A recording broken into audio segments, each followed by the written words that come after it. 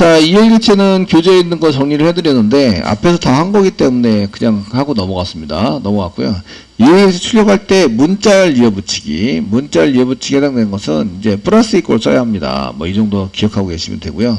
나머지 해당되는 것은 뭐 달러 중간에 열고 중간에 닫고 이렇게 써야 합니다. 이렇게 써야 하고, 얘, 여기다가 문자열 이어붙이기를 써서 사용하시려면, 뭐 여기 번입니다. 쓸 때는 플러스 이꼴을 이렇게 붙여서 문자를 역 붙이기를 써라. 몇 번 이런 식으로 해서. 번호니까 몇 번에 해당되는 것을 이제 이런 식으로 써라. 그 이해계치에서는 그냥 플러스 쓰시면 산술연산으로만 사용한다. 아시겠죠? 그러니까 이렇게 플러스 이걸 써가지고 이어붙이기 문자를 이어붙이기를 사용하시면 됩니다. 이제 이거 구글링 한번 해보셨고요. 그 지금은 요거는 이제 지금 할 게 아니라서 예. 나중에 필요하면 하시고요 아니면 이해객체를 두 번 쓰시면 됩니다. 한 번 두 번 써가지고 계속 출력 출력 하시고 사용하시면 되고 결과만 잘 나오면 되지. 코드에 어찌됐든 아시겠죠? 어쨌든 결과만 잘 나오면 되지. 이렇게 생각해 보시면 되시고요. 자 그 다음에 이제 얘를 쓰시려면 이제 뭐가 필요하냐면 라이브러리가 필요해요. JSTL을 쓰시려면 라이브러리 필요해서 라이브러리를 저희가 이제 선택을 하셔야 됩니다. 그10 버전에서는 자카르타에 대한 라이브러리가 필요하고요 그 톰캣 9 버전 이하에서는 그 자바 이쪽에 라이브러리 중에서 이제 그 자바, 자바의 썬컴에 이제 자바에 있는 라이브러리가 필요하세요. 필요해서 저희가 이런 것들 라이브러리가 서로 틀려지기 때문에 이제 사용하는 방법이나 이런 것도 틀려집니다. 아시겠죠? 그 요거는 자바를 쓸 때에 그 자바 선택할 때에 쓰는 요구에서 여기 여기 안에 프로그램이 짜져 있는데 짜져 있는 프로그램이 자바 기준으로 짜져 있다 이 얘기예요. 자바 기준. 근데 패키지가 자바로 된 패키지로 시작되는 거 안에 들어가 있다. 근데 자카르타인 경우에는 여기 앞에 있는 게 자카르타입니다. 아시겠죠? 그래서 틀려요. 그래서 여기 지금 등록한 거는 여기 컨트롤 스페이스바 누르면 맨 앞에 자카르타 점 이렇게 나와 있습니다. 요거는 이제 자카르타에 있는 자바를 사용해서 쓰고 있다 이런 얘기입니다. 이해되시겠죠? 그래서 코드가 서로 틀리는데 저는 이제 자바를 선택할 때에 그 자카르타 거를 이제 저희가 플러그인에서 쓰지 않고 있어요. 그 톰캣 9를 쓰고 있기 때문에 그냥 자바에 있는 거를 사용하고 있거든요. 아시겠죠? 그래서 요거를 선택할 때에 요걸 꼭 선택해 주셔야 됩니다.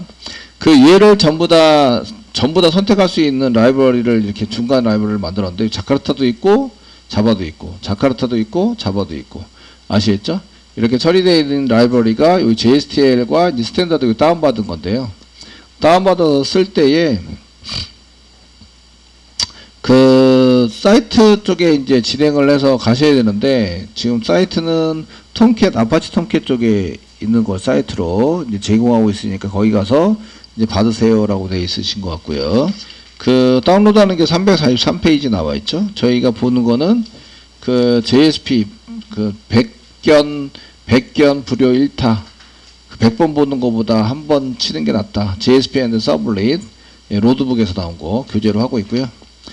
제가 교재 판매하는 사람은 아니고 그냥 이제 교재 알려달라는 알려달라는 사람이 좀 많아가지고 이 영상 보시는 분이 다른 게 다른 분들이 영상 보는데 우리 수업 그 이게 학생들이 아닌데 영상 보시는 분들이 계시더라고요. 그래서 가끔 물어봐요.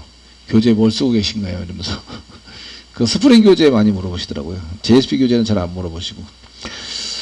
자, 그래서 이제 여기다가는 저희가 그 자카르타 자 자카르타 자카르타 jakarta apache.org jakarta.apache.org 여기 가셔가지고 이제 하셔라 이런 얘기고요. 맨 끝에서 여기 뭐 저희가 tag libraries 태그로 tag libraries 태그를 사용하는 라이브러리 찾아라.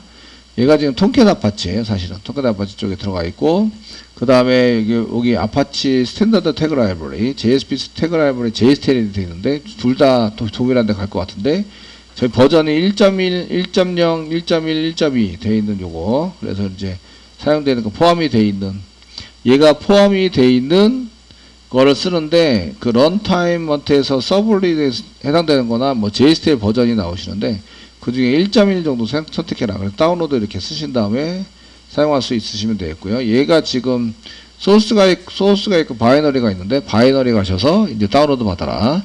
그래서 저희가 두 가지를 받으셔야 되는데 첫 번째는 첫 번째 받아야 될 거는 아 여기서는 압축되어 있으니까 한 가지만 받으시면 됩니다.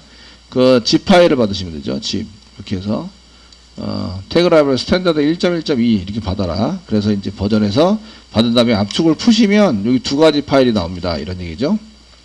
얘를 다운받고 압축을 푸시면 그 두 가지 파일이 나오는데 jstl.jar와 standard. standard.jar가 나옵니다. 이 두 개 파일이.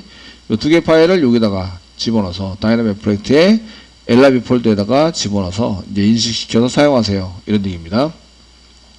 되시겠죠? 사용하세요.